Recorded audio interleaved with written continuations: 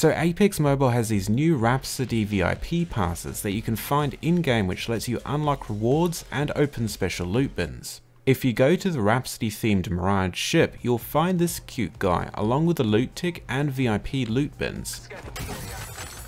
Breaking the tick lets you get the VIP pass, which you can only collect once per day, but when you have it you can open all the VIP loot bins with some pretty nice loot. I kind of wish we could get more themed stuff like this in the main game when Legends come out. What do you think? Subscribe for more videos.